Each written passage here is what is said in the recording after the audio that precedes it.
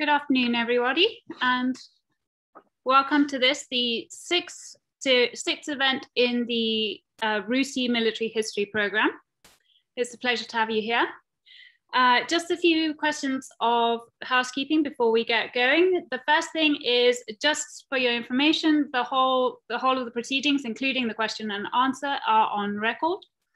And the second thing is if you could please put your questions in the question and answer box, we will answer them at the question and answer session at the end.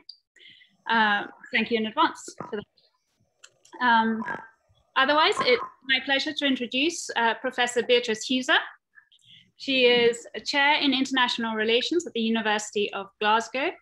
She was a professor at the Department of War Studies in King's College London and at the University of Reading. Uh, she has also taught at several French and German universities, I think most recently at Sciences Po Paris, and is author, as I'm sure you know, of several books, including The Evolution of Strategy, Strategy Before Clausewitz, and also several other works on NATO, uh, uh, nuclear strategy, and transatlantic relations. Her next publication, due in March, is War, a genealogy of Western ideas and practices, which will be published by Oxford University Press. So I will now pass over to Professor Heuser. Thank oh, you very much. I forgot to add that she will be speaking about the Anglo-Spanish War and Britannia's attempts to rule the waves. Fear not, I will remind everybody. Thank you very much for this very kind introduction. Uh, and I am at pains to try to make a connection here with the things that are preoccupying most of us uh, at the moment very much, namely the, the whole issue of empire and the Russian revival of empire that we are seeing so uh, strongly emphasized in uh, uh, at the moment in the Ukrainian war. Um, sorry, let me just fiddle with my screen because that is going to be an issue that, that I have in order to try to get the screen properly to work um, and change the display settings. Just a moment. Right. Okay, here we go. So, uh, in puzzling about how empires came about, or rather how the urge to create empires came about, uh, I have been digging up a little on the origins of the British ideas of empire and how British monarchs, and particularly English monarchs, of course, first hit on the idea that there was a right for them to rule the waves, rule the seas, uh, have command of the oceans. And this actually took me back into an excursion of the Anglo-Span into the Anglo-Spanish War of 1585 to 1604. So we're going back a way long time in history. But in fact, as you will see, we're going back further still. Um, how did it, how, in fact, everybody and their dog seems to have dreamt of creating an empire at one stage. And this is in particular the genealogy of that British notion, and you will understand in a moment why the term already crops up in the 16th century before Scotland and England were even united under one crown, and uh, where these ideas came from. So this is mainly a history of ideas that crystallized around a concrete war, but gave people very new ideas of how to prosecute this war. This is the structure of what I'm going to tell you about. I'm going to talk to you about the Anglo-Spanish War, and then I'm going to include two flashbacks into earlier ideas about ruling the waves in one form or the other, uh, to come back to the Anglo-Spanish War and to explain what the ambitions were there of the, uh, the uh, people involved, particularly on the English side. So this war um, came at a time when Europe was torn apart in lots of confessional wars between Protestants and Catholics, with England dominating not only Wales, but also a good part of Ireland, and English monarchs proclaiming themselves the monarchs, the rulers of Ireland. Uh, and in turn, the Spanish Habsburgs controlling an awful lot of the continent of Europe uh, with very strange, uh, um, a, a, strange assortment of territories, including, of course, Spain itself, but also parts of the Netherlands, parts of Italy, and other parts of Central Europe, controlled by Spanish King Philip II, a Habsburg monarch, but he was not the one who had inherited the crown of the Holy Roman Empire from his father, but only that and some overseas possessions. We will come to that in a moment. the background to this whole story is also that in 1494, a pope decided to simply sign away the rest of the world. This is just after uh, the uh, Americas had been discovered as the West Indies um, assign away the, the rest of the world, these new discovered continents, to the, the countries of that he favored most, namely Spain and Portugal, where he simply drew two lines, and then in agreement, the lines were slightly changed again between Spain and Portugal, which said that anything between these two lines um, in the west and the east um, would uh, that also centered around Europe and Africa uh, would be controlled in future by Portugal, and everything beyond these two lines to the west and the east would be controlled by Spain, and nobody else had a right to this. Now, this uh, really angered uh, a number of other monarchs, among them uh, Queen Elizabeth I, who suddenly defended the idea that the, the oceans should be free and that the world should not in this way simply be given to um, Portugal and to Spain. And she already had a quarrel with King Sebastian of Portugal in the very late 1950s, in which she said that uh, she couldn't accept this idea uh, that Portugal and Spain ruled the oceans. Um, and with this quarrel and defending the free seas, she allowed her uh, make her, her favorite pirate a free hand to explore the world and particularly to sail to North America. Um, some years later, there was another big quarrel um, in, with the Spanish ambassador, this case, in which the Spanish ambassador complained about Drake and others in the Indian seas. When they talked about Indian seas, that actually meant the West Indies upon which Queen Elizabeth said that she favored the open seas. Again, she reiterated that stance and she said it was not uh, acceptable under international law, the law of nations, to turn the oceans into national areas of control, national chasse gardée. And in any case, this Treaty of Tordesillas and this, this idea that the Rome had given, uh, that the, uh, the Pope in Rome had given away the territories of the world to Spain and, and Portugal was not acceptable to her because as a Protestant, she did not recognize any jurisdiction of the Bishop of Rome. And then she added, the use of the sea and air is common to all, neither can any title to the ocean belong to any people or private man, for as much as neither nature nor regard of the public use permitteth any possession thereof. This pitted her against Philip II of Spain, the champion of Catholicism. Not only had he been the husband of Queen Elizabeth's late sister, Queen Mary, uh, Mary Tudor, um, he continued to be in possession of lots and lots of parts of, the, of Europe, but also of these overseas possessions, as we shall see in a moment. And he saw himself as this great defender of Catholicism against uh, not only Protestants, but of course also against the Turk. He was the victor of the Battle of Lepanto, and he had great ambitions, or at least his courtiers had great ambitions for him.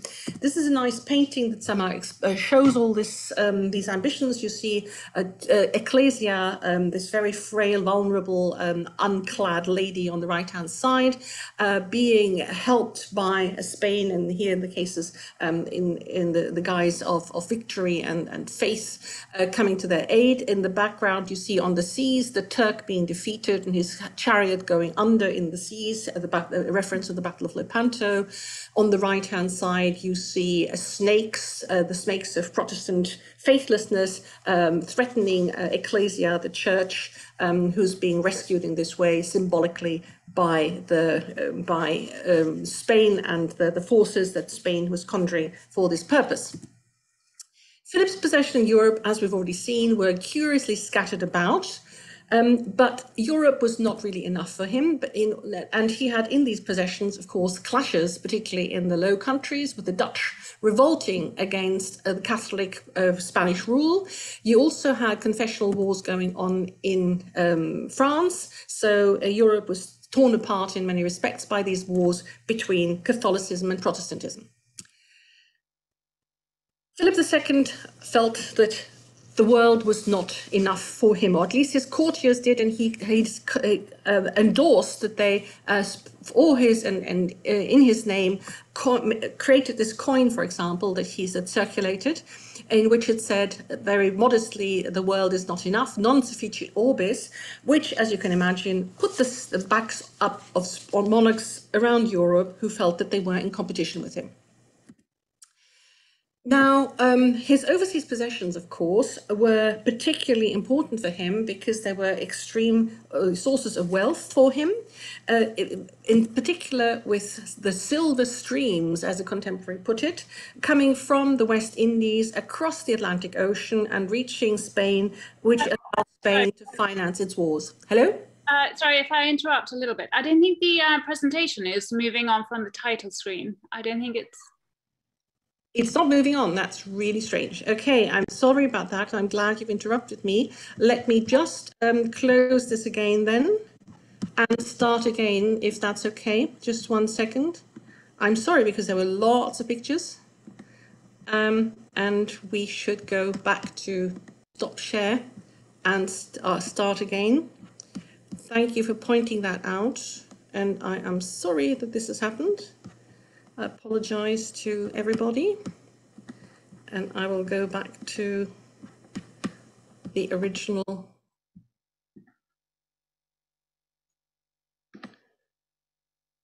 Let's hope it helps us with opening this. Now, can you see my screen now? Uh, it's switching onto it. Uh, yes, but not in presentation mode. Um, is this now in presentation mode? Yes, now it's in presentation mode. But I think you still have two screens there, is that correct? Uh, mine's you see, you see one screen or two? Just one. Okay. But it looks like it's switching itself on. It's I can't see anything. You can, can you see the screen at all? Can you see a second screen now? No, there's nothing showing. Beatrice, do you want to send it to me and I can share the screen for you? No, I will do some okay. one thing, which is, is it any better now? I'm sorry, I'm trying this again. A classic case of how wonderfully it worked when we were practicing this. um, Right, just excuse me. Can you see, see this? And I will stop sharing. I'm trying hard to get back to this. Um, let's go back to the share mode.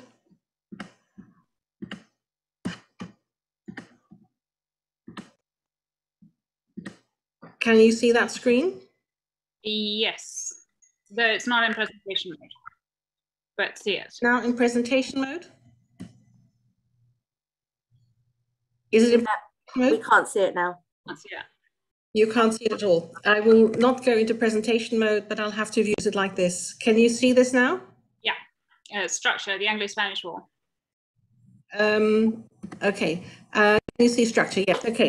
Let me just go. This was the Treaty of Tordesillas, which divided the world into areas to go to Spain and to Portugal. Portugal in the middle, Spain on either end. Um, Spanish uh, possessions. Um, I'm on the wrong set of slides. Okay, uh, Spanish possessions here. Um, and Philip's possessions in Europe. Okay, um, here the coins in which he showed that the world was not really enough for him. Yeah, can you see that? Catherine, can I have you again? Uh, yes, sorry, I forgot to unmute myself. Uh, yes, I can see that. Okay, right. Um, so we have the, uh, the the silver streams coming across the oceans to Spain. Uh, we have um, armies from Spain moving into the Netherlands through the land route you had um, the Spanish actually supporting an insurgency in Ireland against English brackets Protestant rule. And you had Philip sending an armada, and in fact, two more later, uh, in 1588 and two more in the 1590s, directly to England in order to try not only to invade England, but also to stop England from uh, ferrying its own forces across the Channel in order to support the rebels in the Netherlands. Now, this was quite important um, because this was a sort of direct assault on England, but it was at the same time an assault on attempting to hold the channel and get uh, uh, control of the channel there.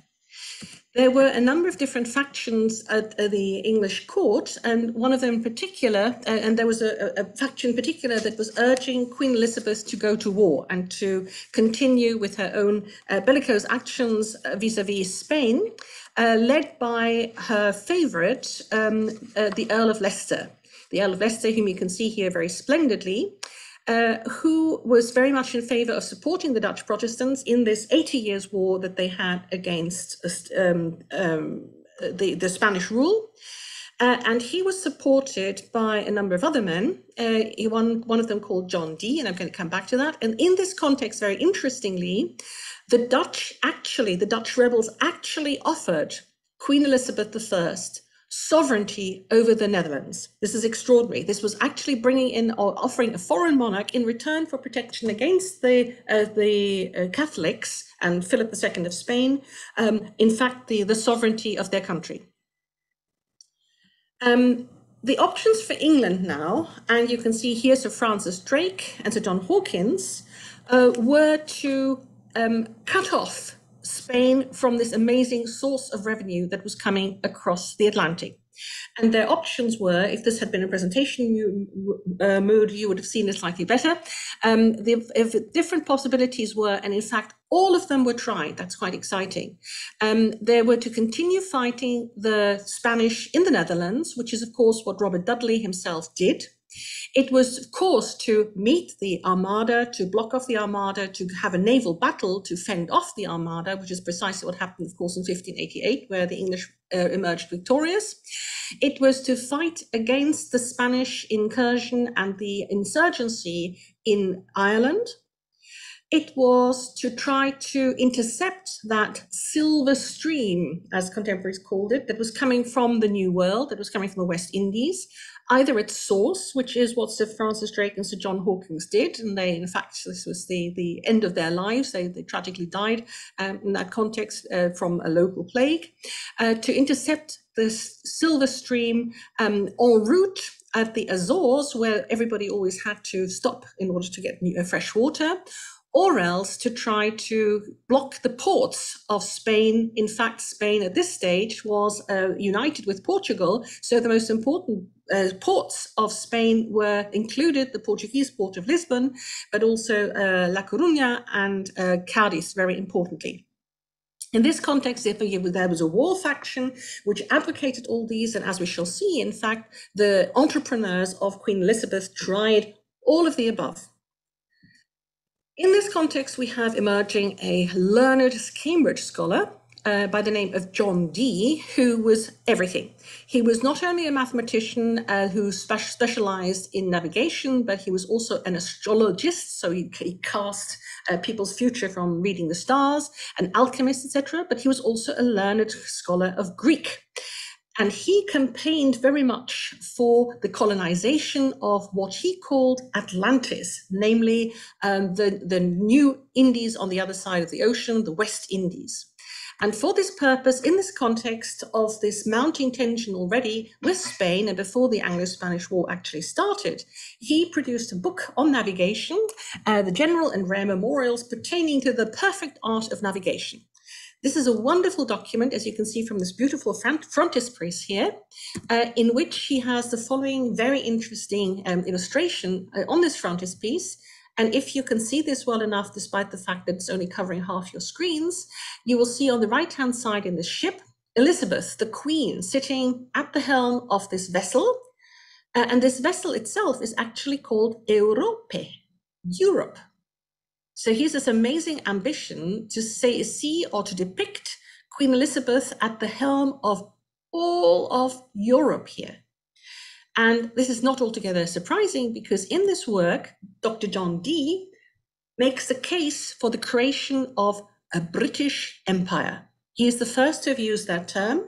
Why would he have used the word British Empire rather than English Empire? Ah, he was a Welshman. So British somehow was a more inclusive term for him. And here we go. This was the sudden uh, birth of this term of British Empire. But not only did he uh, uh, anticipate with this um, this offer of sovereignty to Queen Elizabeth I, not only did he hope that one could have um, Britain or England, in fact, ruling Protestant Europe, he also wanted to extend this further and make see the, the Queen as the ruler of the oceans. Now, where did he get this idea from? And this is where we have to have our first flashback. Imagine yourselves in the film. First flashback goes back to Thucydides and the history of the Peloponnesian War, which, as we all recall, actually took place lots and lots of the time um, between islands and at the seas. So you had in this particular conflict, you had Sparta and Athens pitted against each other, which for John Dee um, was a beautiful uh, uh, example for um, England and Spain being pitted against each other. Because of these, Athens, um, all the yellow bits here, uh, had this empire uh, scattered around uh, the Aegean Sea um, with lots and lots of islands, whereas um, Sparta was much more hidebound and was much more territorially based. And in this context, Thucydides let the Athenian leader uh, uh, Pericles uh, give a speech in which he said um, that when uh, Sparta had been challenging Athens over a, a, particular quarrel, that Athens could easily go and fight Sparta and could would probably uh, prevail against Sparta because Sparta's situation was as follows: it had experienced land forces, but it only had a small, inexperienced navy that was manned by foreigners. The Spartan lands could be attacked from the sea. The Spartans had no redoubt to withdraw to, and the Spartans were ever so keen on a decisive land battle, whereas Athens had extensive naval experience, uh, but it and it had a navy mainly manned by Athenians. Uh, Athenians could seek refuge on their island redoubts, and they could therefore drag out the war and avoid a decisive battle. So these are the words of Pericles, and incidentally, in this context, Thucydides spoke about, just had this one little line which said, the rule of the sea is a great thing. And this, incidentally, is the motto of the Greek Navy because it's such a great discovery. You know, the rule of the sea, this is what you can do with the rule of the sea. This is what you should emulate. And this clearly impressed Dr. John Dee because in his text, we can actually find those particular passages of Pericles being cited. Uh, he cites them in Latin. Uh, there was a Latin translation about, but it's it's precisely those terms, those precisely those passages that he cites. So he got this from Thucydides, and Thucydides in the 16th century was the first times being translated from Greek to um, printed in Greek and then translated into Latin, translated into French, translated into English. So this was a sort of big book of the time, inspiring lots of people, but particularly our Dr. John Dee. Incidentally, Queen Elizabeth, of course, uh, had, had learned Greek, so she could have read the original. The other person whom John Dee cited was King Edgar. King Edgar, living in the sixth, in the tenth century, had proclaimed himself to be sovereign of the sea. I, Edgar, the king of the English, and of all the islands of the kingdom, uh, and of the ocean that uh, is, is, lies all around Britain, um, the emperor and the lord.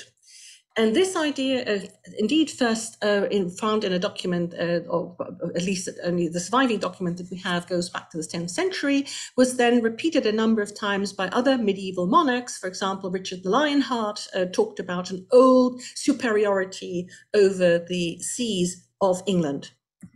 Uh, this was given a big push in the 14th century in the context of the Hundred Years' War, when King Edward III won a naval victory. He was actually present himself and had this wonderful coin minted, which was called a noble. And hundred years later, people are still writing about this and saying, what is the symbol, the, the symbolism of this noble? This, the, the, symbolism of the noble is uh, four things, namely you see a, a king, a ship, a sword, and the power of the sea. So the power of the sea is suddenly a term that is in people's minds already in this medieval context. The practical implications for medieval kings were that they had to defend these waters against pirates. That was the most important thing. Uh, and afterwards, um, other people claimed it as well. And what areas were actually um, meant by this? Uh, the narrow seas, in fact, the, the English Channel, um, the seas around England and Ireland, or even the four seas, everything around the, the British Isles. But people, that's where people's ambitions, in fact, stopped when they claimed to be lords of the sea. It was the seas around the British Isles. Dr. Dee, however, departed from this. In this tract of, 19, of 1577, he proposed that England should create itself at royal expense and at the taxpayers' expense, in fact, a petty naval navy royal, where the emphasis was not so much on petty because it was supposed to be quite big, Um, he wanted to have at least 60 tall ships or more, uh, when the Queen only had about 22 at the time. And he wanted them to be manned like the Athenian navy, exclusively by English subjects or British subjects. And he held back to King Edgar and said, had not, according to one particular source, King Edward had 80 ships even. So surely the Queen must be able to afford 60. He later explained retrospectively, at the time great hope was conceived Her Majesty might have become the chief commander and in manner imperial, governor of all Christian kings, princes and states, and chiefly of those part of whose dominion and territories did in any place admit good landing from the sea, or whose subjects with ship and goods did or must pass and use any of Her Majesty's appropriate and peculiar seas so here was the dream, apparently, in the 1570s that England might dominate not only the British Isles, but also the littoral of the North Sea and, and lands along the North Sea. He even went so far as to construe a claim to the Spanish throne. In the 1770s, 70s, this came to nothing, uh, but the idea was revived uh, to almost two uh, decades later by the stepson of the Earl of Leicester, Robert Devereux, the second Earl of Essex, who pushed for several other campaigns to be made, of which one stands out. It stands out not so much because of any particular success, but it stands out because he left papers in which he articulated the strategic rationale behind his campaigns. And that was really exciting because we suddenly find that in such papers, such really terribly handwritten, uh, badly handwritten papers, you can see the example there on the right hand side, people are actually already speaking in very Thucydidean terms about uh, the, uh, uh, uh, the reasons for which they're going on campaign and the aims of the, these uh, uh, the political aims of military campaigns really something that one can only call strategy in a bigger sense. Essex's strategy in this these particular papers that survive, a, a fascinating manuscript called the Hulton Manuscript, uh, was that, amongst other things, after having already tried some other things, uh, he now wanted to launch a campaign, he explained, uh, to capture several of Philip II's ports, namely Cadiz, first of all, then Lisbon, in order to cut off Philip from his trade, to make it impossible for Philip to attack England, to destroy his ships, and then, wonderful line, what would happen then? Our sovereign shall be truly Regina Maris. Uh, in fact, he, he spelled it out for those who didn't know Latin in a, in a, in a printed version, which he said would make Queen Elizabeth the absolute queen of the ocean. Uh, at the time, of course, Regina Maris was still in people's minds as this idea of this was the heavenly queen, it was uh, the mother of God, Mary. Uh, but this now transferred to um, Queen Elizabeth, and it fits beautifully also with the, the uh, iconography of the, the 1588 uh, um, portrait of uh, Queen Elizabeth after the Armada, where you see her indeed uh, ruling the oceans. Oh, you see the, the Armada uh, uh the destroyed on the right hand side, and on the left hand side, the English ships going to victory. Um, the chronology of this is that, uh, as I said, various different things were tried. Uh, you had the, uh, Sir Francis Drake had already raided Cadiz before that. The Armada had happened in 1588. The Cadiz campaign came in 1596. Uh, then, after that, another Spanish armada sailed against England, was turned back by winds. Uh, autumn 1597, another, a third Spanish armada sailed, was turned back by the winds. And in 1597, Essex tried to do yet another thing. He tried to get to Lisbon, but in, again, he was in fact turned back by the winds and ended up in the Azores. The idea was by no means dead, however. You still found it along um, being reflected reflected in um, the thinking of people at the time. Um, even in the nine, just about, uh, just those years, you had Dr. John Dee returning to this idea and actually using the Greek term for what he wanted for England. He wanted to have the rule of the sea for Britain, a thalatocratia Britannicae, oddly spelled. But he explained to friends that he wanted to see the seas all around England up to the very coast of Picardy, Normandy, Normandy and Brittany under the Queen's sea jurisdiction and sovereignty absolute. He wanted the Queen to rule over the North Sea and the coasts of Norway and Denmark, at least to the mid sea. Here is a concession to the sovereignties of other countries, and half and again half seas over towards Denmark, Friesland, and Holland. But most importantly, and that was a sort of central plan, he wanted the Queen to have jurisdiction also of the seas to the west of England and Ireland, indeed Scotland as he claimed that that country had in olden times been a tributary to the English kings and he felt should be so again all the way to that famous and very ancient Platonical and Solonical Atlantis. And Atlantis is clearly the term that he had for America, North America. So to capture this in a picture and an image, um, not just did he want to deny this uh, division of the world and the, the attribution of the rest of the oceans to Spain and Portugal, respectively, by claiming that England had the right to go all the way across those lines of division and to, to, cross the line, hence the expression, to cross the line and then colonize North America. But you can also see how this perfectly corresponds with that particular depiction of Queen Elizabeth's hand lying ever so gently on the North Atlantic in the Armada painting that you can have this little snapshot here from. Now, again, nothing came to this immediately. And nothing came of this immediately. Uh, but the ideas continue to live on. I mean, the, the Anglo-Spanish War, in fact, came to an end or fizzled out after uh, Philip II died in uh, 1598, and Queen Elizabeth herself died in 1604. Um, but importantly, this the idea of wanting to colonize North America lived on, and not only John Dee, but a number of other people put money together for various expeditions. Uh, there was also an advisor of Essex who had, like John Dee and Essex, been at Trinity College in Cambridge, uh, called Matthew Sutcliffe, who wrote a manual for war. In fact, what I call the first integrated uh, military concept ever.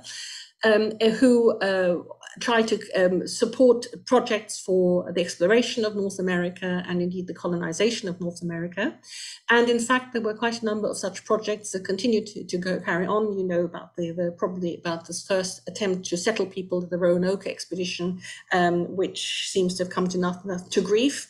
Um, but nevertheless, these ideas continue to be around, and there continue to be this idea of the rule of the sea. Um, you know very well where this was taken from here. And in fact, in the following century, the 17th century, you have an odd inversal of um, ideas. While Queen Elizabeth, of course, had have spoken in favor of the open seas and that the seas should be open to all because she was challenging the claim of Portugal and of Spain to have a right to rule and dominate the seas. In the following century, the 17th century, it would be the Dutch and Hugo Grotius who would be claiming that the seas should be open and free for everybody to use. And it would by and by be the British, after the Union of the Crowns afterwards, who would claim that they had some right to dominate larger and larger areas or had some claim to at least be um, the princes of those oceans or the, be the have the first role in those oceans, insisting that other navies and other vessels should strike their flags to any British vessel that they saw. So there was this odd inversal of that particular debate that went on uh, even in the following centuries, where Britain increasingly claimed that she had a right to dominate the seas. Uh, but crucially, this is how these particular ideas were born. Let us perhaps terminate with the relatively unsuccessful uh, Cadiz campaign. Uh, the, the number of these campaigns didn't really come to very much. They were an exploration of different things that one could do, um, but they didn't totally succeed. But instead, uh, you have to picture particularly the Cadiz campaign as in the following, happening in the following way. Um, in this case, England still had no regular taxation for war, with the consequence that they, uh, the, the Queen had to persuade her Parliament to support her every single time that she wanted to uh, go on a military enterprise. And with the um, difficulty, therefore, of raising money and bringing money together, which meant that there had to be a lot of private investors. And this included, incidentally, uh, the um, Earl of Essex, who was himself very much interested in uh, this, these military campaigns and each time raised money himself. Of course, that meant that he was under a lot of pressure then to bring back spoils that would, at the very least, um, cover all the expenses they'd had, but really should be covering much more than just the expenses. That should also bring revenue to the Queen, because the Queen, if she endorsed these operations and thereby gave them the, her protection so that they weren't merely piratical, um, she, they had to bring back coffers of gold for the Crown, and they had to at least, um, again, uh, bring back as much as the Queen had invested in this, and ideally much more than this. And the Cadiz campaign was one where the odds just about balanced out. They just about brought enough, brought back as much as had been invested in them. I shall therefore now attempt another technological uh, thing, which is probably going to go desperately wrong, but bear with me when I try. Um, there is a wonderful film that was made on the basis of a biography of the Earl of Essex, which I'm told is now a little bit dated, but nevertheless, it's a, it was a very, uh, very good at the time and is still very close to historical facts, which is called the uh, Elizabethan Icarus. And Elizabethan Icarus uh, is the Earl of Essex, refers to the Earl of Essex. The film that was made from this was with Bette Davis and Errol Flynn if you ever picture the Earl of Essex and you uh, you know this film, you always imagine him as Errol Flynn. Uh, let me, in that context, play you that wonderful scene at the very beginning of the film where the Earl of Essex and uh, his companions come back from the Cadiz expedition. And you must picture, because this is only a tiny bit of a YouTube tube clip, you must picture him having ridden into London um, uh, with uh, the, the, crowds acclaiming him and uh, feeling very much like the conquering hero who is coming back and who is very um, triumphant and glorying in his own uh, experience there and his own um, great um, success. So here is that scene where he is then, much to his surprise, met by the Queen with great disapproval. And I hope that this is going to show in a possible proper way. Look, he can't answer. He daren't answer. If your majesty will let me tell you. Go on then, tell me. Unfortunately, it was you yourself who called the fleet back from Cadiz before my plans had been carried out. Unfortunately, the Spanish treasure fleet, with 12 million ducats, lies beneath the waters of Cadiz harbor, sunk by the Spaniards themselves. While Essex, against the advice of Howard and Raleigh, gathered fame for himself by storming the town. There was naught else to be done in honor, madam. It was for the glory of England. For the glory of Essex. That put food into the mouths of my starving people. Can they subsist upon laurel wreaths from your heroic brow?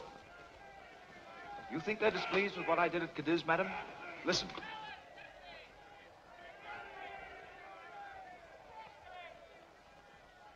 Obviously, the English people are more readily pleased than their queen, madam. They cry your name today. But what will they say tomorrow when I must tax them again to pay off the soldiers and the fleet? Does it mean nothing that 1,200 pieces of Spanish ordnance were sunk in my hollow victory and the Spanish fleet totally destroyed? Thanks to my Lord Howard and to Sir Walter Raleigh. It seems you've no reward for me as a soldier, madam. That the soldier can endure. But the man had hoped for a different kind of reception.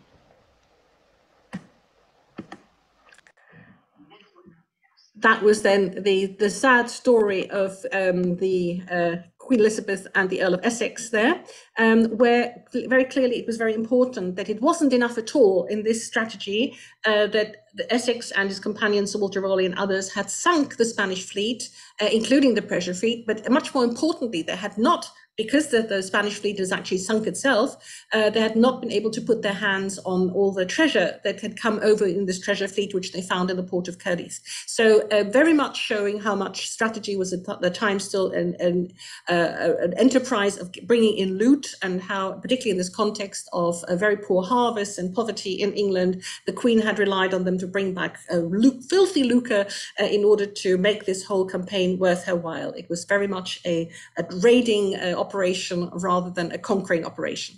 So that's a very short comment on one of those several campaigns that were tried. So put it that way, the Anglo-Spanish War tried many different strategic uh, uh, um, things that hadn't been tried before, many different strategies that hadn't been tried before, but not very successfully. Yet the idea lived on, and the uh, the ambitions to create a the rule of the sea for Britain lived on. thank you very much for your attention. And I see that there are already questions and answers. Thank you very much, Professor Heuser. That was fascinating. I'm very glad the video worked at the end. It's always good to see Bette Davis. Um, uh, I guess perhaps I might take the first question as uh, take the chair's prerogative and ask, um, where do you think the ideas of, uh, did they get their ideas directly from Thucydides, people like Dee and Devereux and Essex? Um, or did they want to be, did they want to take what Spain had, for example? Or did they see themselves as creating something different? Definitely, definitely something that they took directly from Thucydides, but also from Tacitus, for example.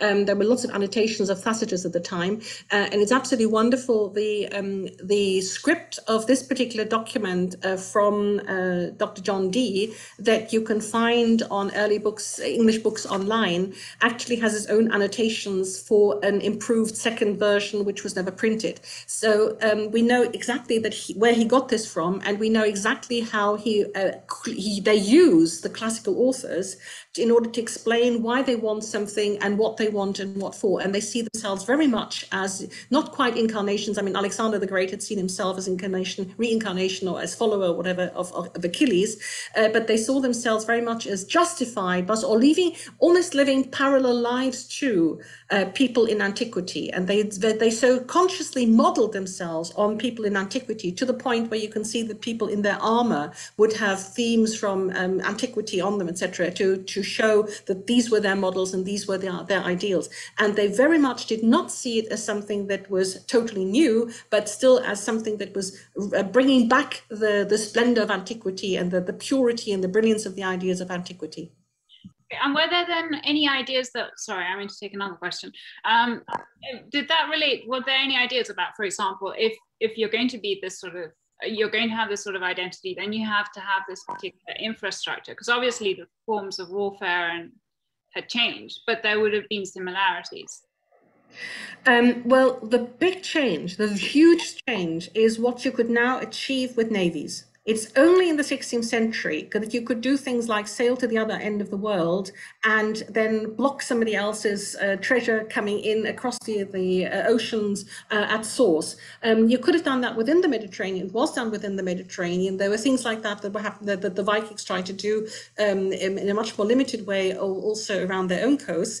Uh, but it's only in the 16th century that you could actually try this on a global scale. So yes, there was this big technological breakthrough that was there, uh, but curiously, despite the differences, particularly in, in naval uh, possibilities that had arisen in the 16th century, uh, people found it very difficult to see that, that they were living in a very, very different world from those of antiquity. If you look at the way in which they use these antique texts, then one of the other beautiful examples is the way they use Tacitus and they illustrate Tacitus, is how closely they see that world to their own.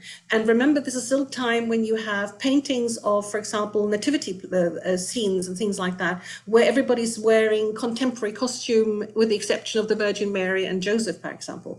Um, so people are still seeing, they don't quite see this difference difference between the then and the past um, they, they see that as something that is still very much operating in the same way. And they don't reflect, if they do reflect on differences, they will say something like, oh, in antiquity, the Romans had a sort of um, the peasant soldier, so we need that as well. So and so spoke against um, having foreign mercenaries, so we shouldn't have foreign mercenaries either. So, very much this orientation on, in towards antiquity to have to, to give us a model for our own behavior. Thank you. That's fascinating. Um, okay, I will ask other people's questions now. Uh, Nick Powell, Howgill, I'm sorry if I pronounced that wrong. Uh, was slavery a mere byproduct of the strategy, or did it at this time provide a means of trade and developing wealth? Um, dwelling on slavery, that's very, very interesting because slavery, uh, even at this time, even in this late 16th century, um, enslaving fellow Christians had only just disappeared. we still have examples of the enslavement of fellow Christians in the early 16th century. And until then, it was a total matter of course that you enslaved your adversaries or the adversaries' population if you won a victory. Um, so slavery was very, very much a part of the overall ambitions of strategy. While you don't yet in the as, um, in these the Anglo-Spanish War or in this particular context have any emphasis on uh, enslaving, for example, um, the uh, American populations, anything like that. Um, it's very much a byproduct of this. For example, in the Battle of Lepanto of 1571, uh, when the Christians won, they liberated lots and lots of Christian galleon slaves from the Turkish Turkish ships that they didn't sink. Yeah, so slavery was just something that was very much a matter of course and was part and parcel of the world of those times. Uh, although slavery of the enslavement of Christians by Christians was supposedly outlawed from the 14th century, it continued to be practiced for quite a long time. And it, of course, between Christians and Muslims, it didn't disappear until well into the 19th century. In fact, until the end of the 19th century, the Muslims continued to uh, enslave uh, Christians whom they captured in the Spanish Navy in the 18th century, they definitely still had they had all the structures for sort of an in exchange of, of slaves um, as well, sort of very much as well. It was very much part of the system. Mm. Yeah, but that's 18th century. Okay, next question. Um, uh, James Pritchett wants to know: Could you restate the name of yeah. the writer whose treatise? Yeah, it was uh, wonderful work, Matthew Sutcliffe. Yes, Matthew Sutcliffe. Um, and uh, he, in fact, he wrote this marvelous book. In, in fact, what happened was that normally you'd have a military commander issuing his own ordinances. Not only would they issue their own ordinances, that they might add, add something to this by saying, uh, and incidentally, here are some prescriptions on how to raise an army and how what sort of horses to buy and what sort of people to muster. Uh, in the case of the Earl of Essex, he was incredibly young and incredibly ambitious and incredibly pressed for time for some reason. Uh, he delegated this task, and this was quite an unusual thing to do to what I think must have been his old teacher at Trinity College, Cambridge, namely this said Matthew Sutcliffe, who had accompanied himself and the Earl of Leicester on their campaigns to the Netherlands. So that uh, um, Essex commissioned uh, Sutcliffe to write this. Not only did uh, um, Sutcliffe draw up these ordinances, but he then had a whole book in front of it in which he said, well, he, this is how wars should be fought. First of all, you should always have justice on your side. The whole just war tradition is outlined there very briefly. And then he said, actually, in this ongoing war, because this was published just before the Cadiz campaign in the early 19, uh, uh, sorry, 1590s, um, he said, uh, what you should do, you shouldn't sit back in such a war and wait for the enemy to come, because then you have to uh, control your entire coast. But seize the initiative, much more advantageous. Go to Spain, uh, go and attack the enemy. He didn't actually say Spain, and try to conquer their lands and try to hold their ports and cut them off from their economic supplies. So Matthew Sutcliffe, who I think wrote the first comprehensive strategic concept ever. Thank you. And uh, what was the justification of the First World War blockade? Uh, I imagine that means uh, the I imagine that means is that this was the same uh, justification to cut off Germany from incoming wealth, not incoming wealth. It was actually a hunger blockade, and that idea was picked up, of course, from the continental blockade of Napoleon, which was taken up in the 1870s uh, or thereabout by the Jeune École, which quite deliberately uh, meant targeting the population rather than the wealth of the state and and bringing the population of the other side to its knees by a starvation blockade. So it wasn't even one which one, the, one tried to enrich oneself, but it was literally to, uh, to, to aim at the other side, which is a pretty nasty side of warfare if you're actually aiming at uh, killing and starving enemy populations. And uh, if the majority of these expeditions were unsuccessful, why then did the concept of using control of the seas to protect British power become such a key method for future strategists? That was oh, um, this is a wonderful example. The, the, the thinkers and the uh, uh, attempts to um, uh, apply the thinking in the Anglo-Spanish War um, were, one could say, always ahead of their time. Uh, the ships were really still very rickety. They were tiny. Um, they were very much uh, vulnerable to storms and things like that. But a lot of the ideas that people had then would be implemented in the following century, in fact. So, for example, if you think of uh, the, there's the idea of seizing and holding Cadiz, which was uh, both Matthew Sutcliffe's and uh, the Earl of Essex's idea, uh, they actually wanted to make that a permanent British holding. Um, didn't work. Okay, but in the following century, they got uh, Gibraltar and Gibraltar is still in British hands now. So quite a lot of the things that they suddenly dreamt of undertaking would become possible in the following century. Uh, it's a little bit like uh, early air, air, power strategist Giulio Douhet, immediately after the First World War, had idea about how ideas about how to use air power, which could only be actually implemented at the very late 20th century. So a lot of the time, what's, what was exciting is how old ideas unleashed people's imaginations for things that were retrospectively new, which they didn't necessarily regard as new, but that they, which they regarded as another option of strategy to pursue, and which they tried didn't so didn't really success, succeed with. But the idea continued to be there, was taken up again by other people in later generations, and then very often worked. Exciting stuff yeah, yeah, that definitely.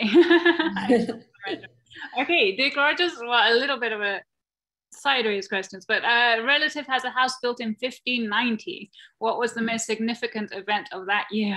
I pass. I'm sorry. There must have been some exciting things also going on in, in yeah, France yeah. and in the Netherlands and everywhere else, but I can't give you. A lot of ships, um, and then uh, long, uh, have you written this up? Stephen Haynes asks, I think. Um, oh yeah, sorry. Yes, um, a nice book. I sorry, I, uh, I forgot the slide because of this. That my my kerfuffle with the slides. Unfortunately, I got the wrong presentation up in the end. Um, I've written a nice little book which is available, a sort of paperback. It's not not too bad, and you could always try to persuade your library to buy it, which is Strategy Before Clausewitz, and it has three very rich subject uh, chapters on this whole subject with all the details and many more beautiful quotations. Strategy Before Clausewitz by yours sincerely. Excellent. Um, and oh, uh, James Richard, another question. Uh, amphibious warfare has long been very difficult. Did the English Essex or Drake, for example, of this time develop particular new methods of this that they could look to as tactical, operational, doctrinal advantage to which case? Actually, um, no. Um, amphibious warfare, in the sense of how they they uh, try to attack their ports. So it's a lovely story here. Um, when uh, Essex first uh, led an expedition against Lisbon, and this was in the context of trying to bring a Portuguese pretender to the throne in order to whisk the throne away from Philip II, who had in, claimed to have inherited it and who held it at the time.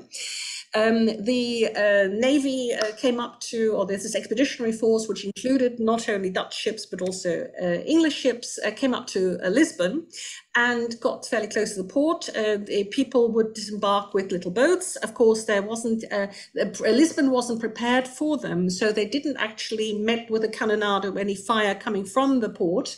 Um, and Essex was later severely reprimanded for the fact that he leapt into the water and actually waded against the main town gate, making himself a sublime target, which amazingly he survived, uh, and then uh, directly went in and they took Lisbon so much by surprise uh, that they actually got into the, the fortified area. But the townsfolk had no interest in this particular rescue mission. They did not want to be liberated from the rule of uh, Philip II. And Dom Antonio and the entire navy and Essex simply withdrew again uh, from this particular campaign with no particular success.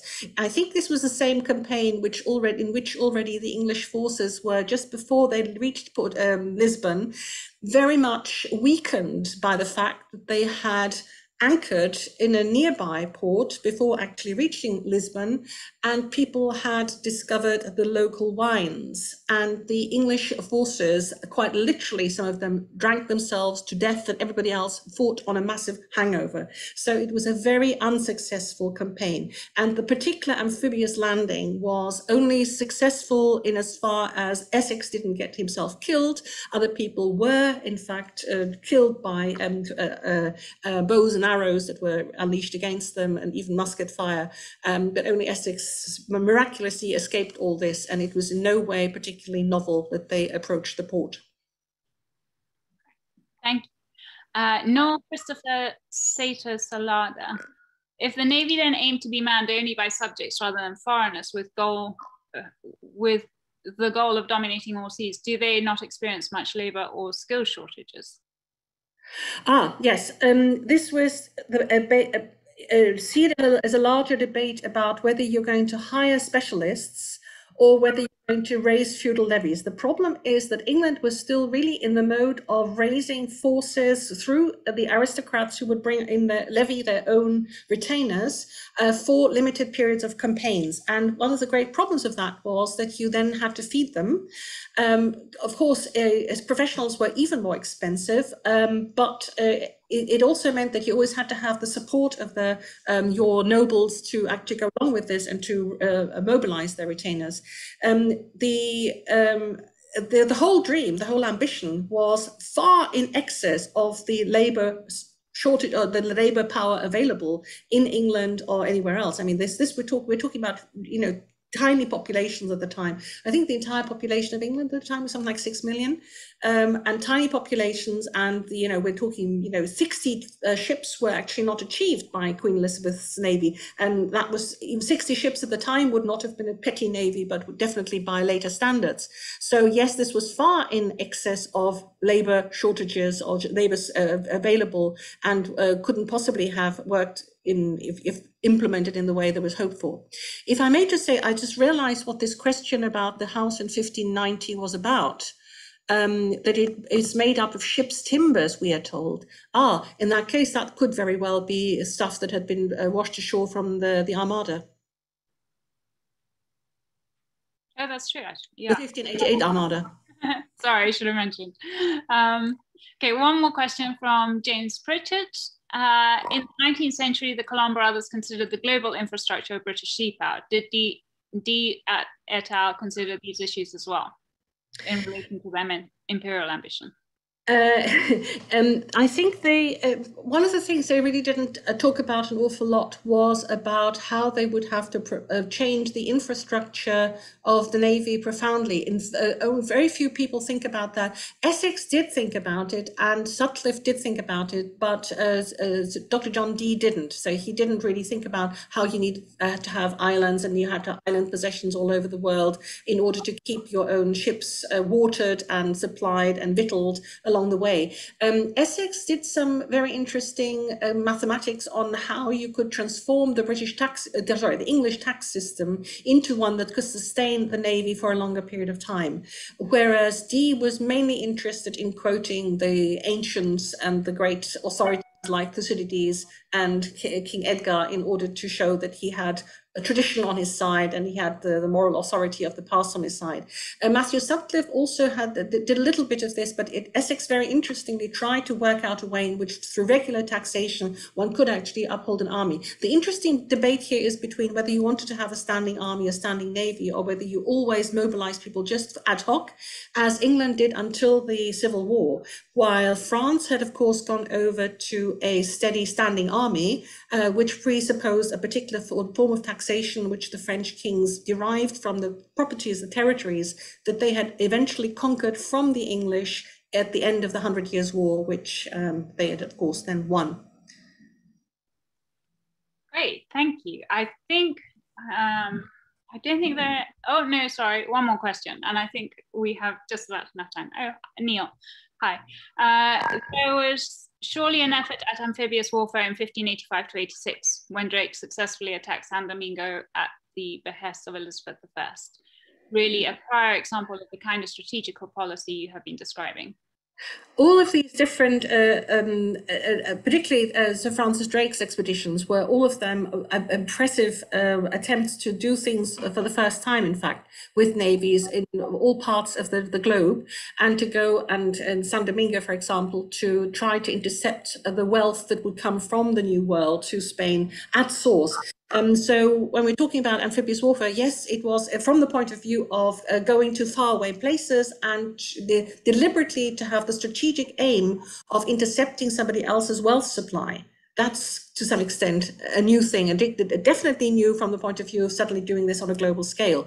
Uh, but how they got from their slightly larger vessels to the shore uh, in itself was not particularly new. They didn't have particularly landing craft, or anything like that. They still had to wade through the water the last, the last bits.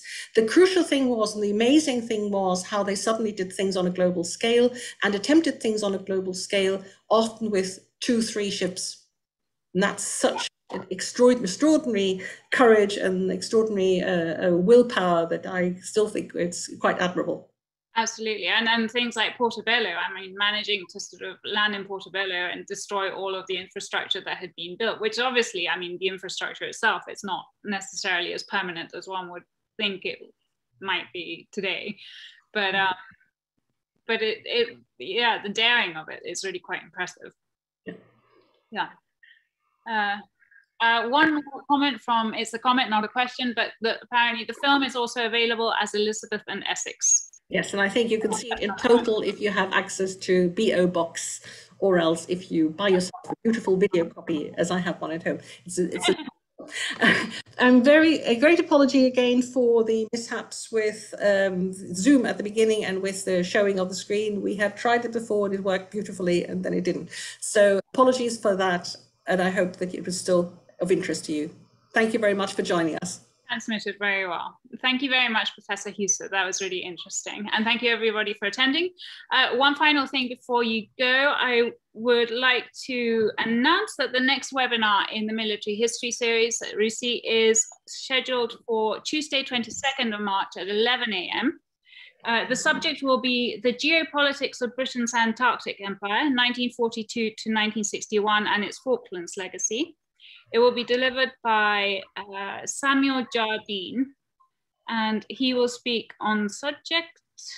Um, sorry, no, he won't. He will speak on the subject, but I was looking for what he is a specialist in, which is a geopolitics specialist and public historian. He is the head of research at London Politica. And you can find all the details for that on the RUSI website. So thank you very much.